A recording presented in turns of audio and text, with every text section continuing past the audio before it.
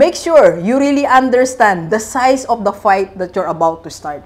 Dapat naiintindihan mo ang gerang susugurin mo. Pag nagsimula ka nagnegosyo, dapat na-figure out mo na eto palang laban na papasukin ko. Nung nagsimula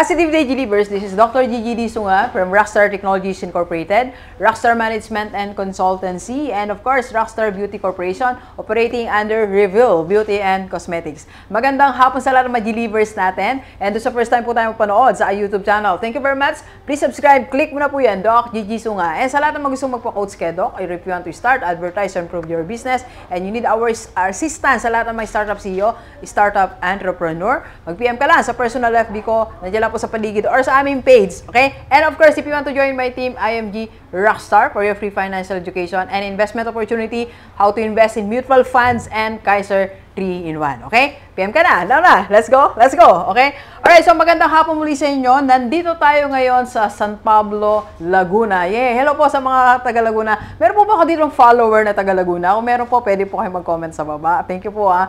Uh, maano po yung lugar nyo? Parang peaceful, no?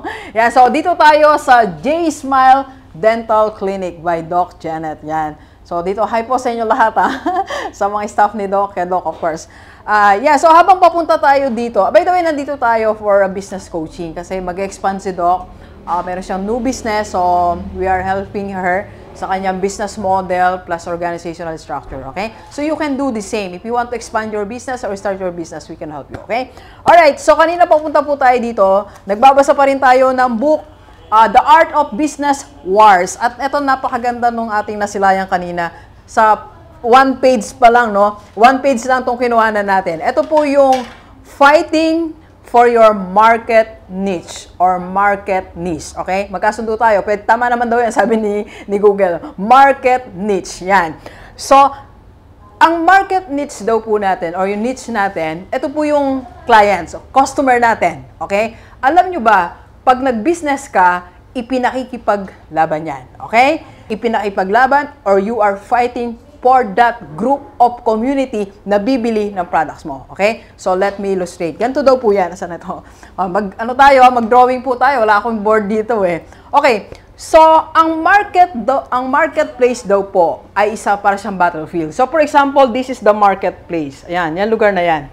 So, ituring daw po natin siya para siyang battlefield. Alright? So, para din siyang nasa war. Di ba yung battlefield, you are fighting sometimes for certain ground or certain territory, certain place. For example, ito po siya. Yan. So, meron dalawang group or ilang group man ang naglalaban-laban sa battlefield just to fight for this space. And that is also true in marketplace.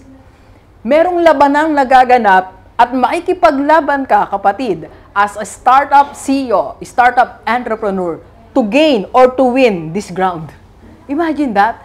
If you want this portion of community sa marketplace, merong digmaang magaganap. Okay? So, ulitin natin ha, para po siyang battlefield, may naglalaban. Sino yung mananalo sa territory na yan? Okay? Labanan ng territory. Labanan ng customer. Okay? So, sa marketplace, if you will be introducing new product, new concept, new business, maikipaglaban ka rin po sa customer. Labanan sa customer. Okay? Eh, Doc, anong gagawin natin? Okay, ito, pag-usapan natin. Ano ba dapat natin gawin? Mag-copy po tayo. Mag-copy po tayo sa Laguna. By the way, sarap ng kinainan natin. Anong pangalan niya? Sulyap. Sulyap. Sulyapin ang nakaraan. ang ganda po ng play. Salamat. Ang sarap. Right. Sige. So, eto po. Eto po yung reality na itinuturo sa illustration na yon. Okay? This is the reality. That's, it's not, eto po, listen ha, sa ating po lahat na magninegosyo o may negosyo, para sa eto explanation sa mga nahihirapang bumili. Di ba pag una wala namang bumibili sa'yo, yung kapatid mo nga yung bumili sa'yo eh. o, sino yung kamag-anak na bumili sa'yo? Yung mga kapatid ko nga, para lang makagamit na reveal, binigyan ko lang eh. Isa man sa kamag-anak ko, walang bumili. Walang bum- nag-member ng ano. Wala sa wala ayaw nila, okay?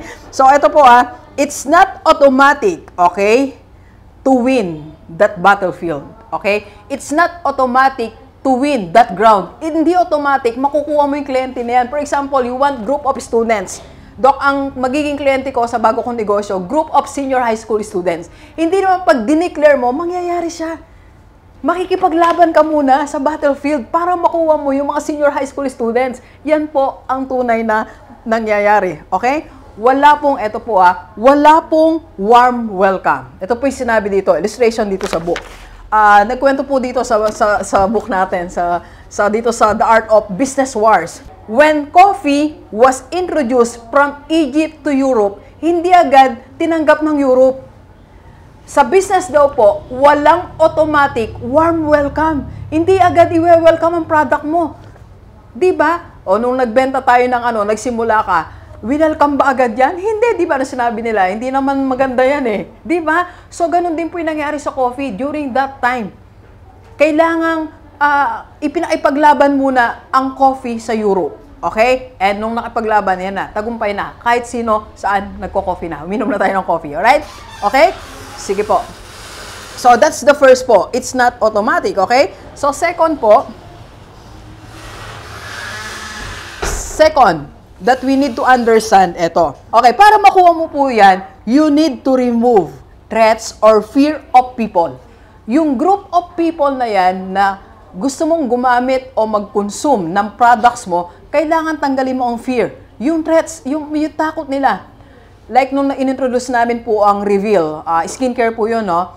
So ang daming question, ang question, Doc, hindi ba ako mangangati? Doc, hindi ba ako, hindi ba, hindi ba, ano, magkakasakit ako sa skin? Or what? Yun, naiintindihan ko yun. Lahat ng mga nagme-message, they were asking that same question. So ginawa namin, ang una kong target, makuha ko yung trust nila. I have to remove the fear. Ano pong ginawa ni Rockstar? Ginamit ko po ang Rejuve. Ito na po. Eto na po ako. Pinakita ko, akong gumamit. At ginamit ko po talaga. Hindi po yung iba na, ginamit ko yan. Ginamit ko po talaga. Okay? So, nung sinabi ko po, nag-testimony ako, uh, I use my own product, so nawala ang fear nila. So, kailangan, gagawa ka ng strategy po para mawala ang fear nila. Okay? So, anong gagawin natin, Doc? Ito po. Okay? So, ito po ang bilin dito sa book. Alright? The Art of Business War. So, anong gagawin natin, Doc? para manalo tayo sa battlefield in introducing your new business or new products. Alright, okay, ito po ang pinagbilin dito sa book. Ang sabi po dito, you need to map the battlefield thoroughly. Kailangan ilagay mo sa, tinan mo ang map, map i-map mo. Tinan mo, asan na yung ano natin, marker? Dapat po, makita mo, iguhit mo. Pwede mo rin iguhit literally o sa isipan mo. Ano ba yung ipinaipaglaban kong uh, group of clients or niche. Alright? So, sabi po dito sa book, make sure you really understand the size of the fight that you're about to start. Dapat naiintindihan mo ang gerang susugurin mo.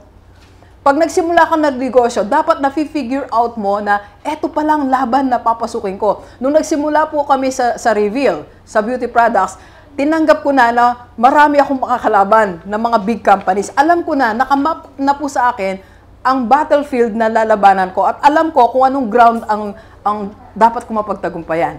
Same with one of our businesses, ang software company po natin, Rockstar Technologies Incorporated. Ang dami pong nagsabit kila Mayor, ang dami nagsabit na proposal sa mga schools.